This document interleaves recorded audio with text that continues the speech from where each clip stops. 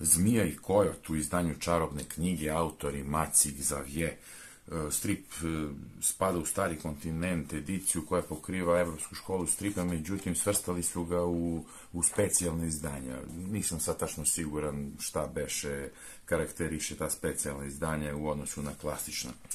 Ovaj strip sam naručio slučajno. Hteo sam da kupim jedan primerak za prijatelja i pošto mi nije stigla potvrda na mail, ja u toku dana obavim još jednu kupovinu i na kraju dobijem dva primjerka u dva dana i naravno platim dve poštarine. Kreten čovek, šta reći. Ali nisam hteo da budem đubre i ne preuzmem robu.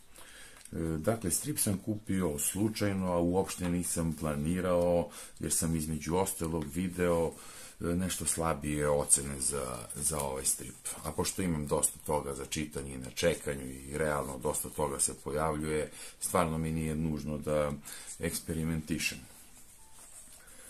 Međutim, strip mi se dopao.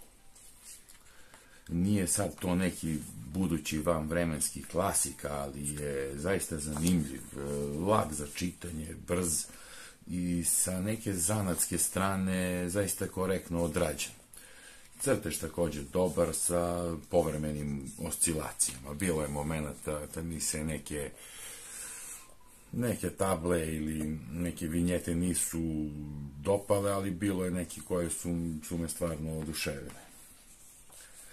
Što se tiče radnji, ona se dešava u 70. godinama 20. veka, ali skače u prošlosti, to u 30. a čini mi se i u 20. godine u New York dok se trenutno ova radnja 70-ih eh, događa u ovim pustinskim ili tim polupustinskim, da kažem, državama SAD-a, da ima puno tih eh, nenaseljenih predela. Pa što se sa te strane, ovaj strip ima dosta šmeka od westerna. E, moram da kažem da je samo izdanje takođe simpatično. Rekao bih da da prvi put čitam strip iz, iz ove štamparije. I stvarno su, čini mi se, ljudi korektni. Možda malo zaista davim u zadnje vreme sa osvrtima na kvalitet izdanja, ali počeo sam da, da prilično obraćam pažnju na taj segment. Stvarno razlika u kvalitetu uveza i tih nekih stvari može da bude baš velika. Recimo, ovde mi se nije, nije dopala prva strana kako je rađena. To stvarno ne shvatam zašto tako tu se vidi taj konac i nekako čudno naleže, sve imam utisak da će da otpadne.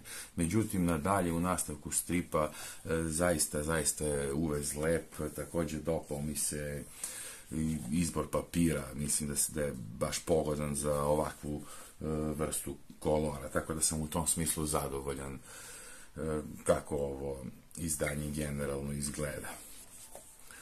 Ranja se vrti oko ovog jednog e, matorog kriminalca italijanskog porekla koji je pod e, postao član jedne da kažem FBI-eve varijante sa, sa zaštitom svedoka gde, gde je on zato što mu je život bio ugrožen od strane njegovih e, bivših saradnika iz mafije da kažem pristoje da bude zaštićeni svedok i da uz garancije da će da dobije novi identitet i tako dalje, sve doči protiv nekih od lidera uh, njuoške mafije, znači jedan onako ozbiljan proces sudski uh, je u pitanju.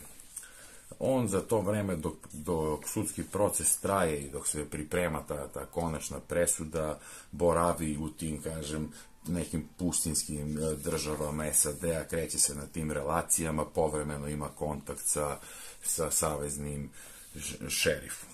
A, ove scene koje sam pomenuo 30. i 20. godine New Yorka, to su scene kojih se on priseća i, i ti skokovi iz ovog, kažem, polupustinskog ambijenta u taj urbani New York 30 su, 30-ih su mi zaista prijale, jer volim i ovaj western okoliša, 30. godine su mi takođe drage, volim tu estetiku 30-ih, muziku 30-ih, modu,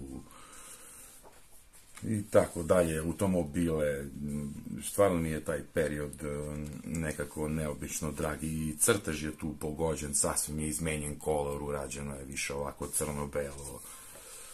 Priča je nepretencijno da kažem, ali sa zanatske strane stvarno je to zaista korektno. I opet kažem, neće ovo postati neki vanvremenski i svetski klasik, ali nešto što vredi ovog novca koji sam platio i stvarno mi je prijalo da